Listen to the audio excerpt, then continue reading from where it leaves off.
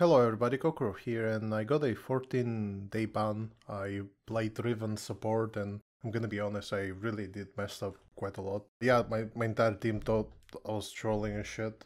And I mean, it was a troll pick, I mean, Riven support, but in my defense, I really thought that Riven support would work, even though this was my first time playing it. I mean, playing it in ranked probably was the reason I got banned, but I mean, it could work. I mean, I'm making Fiddlesticks work I have like 60, 600 LP.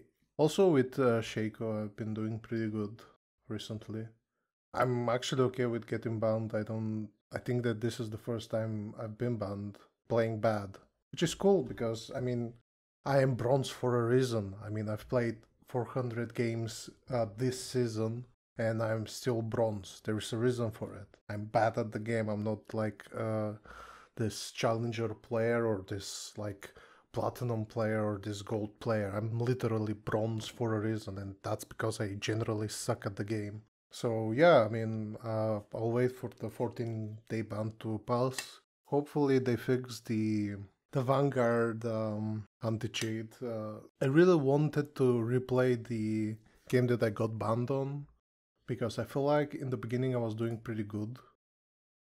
And then like few. I mean, yeah, good. Bye bye. Mwah.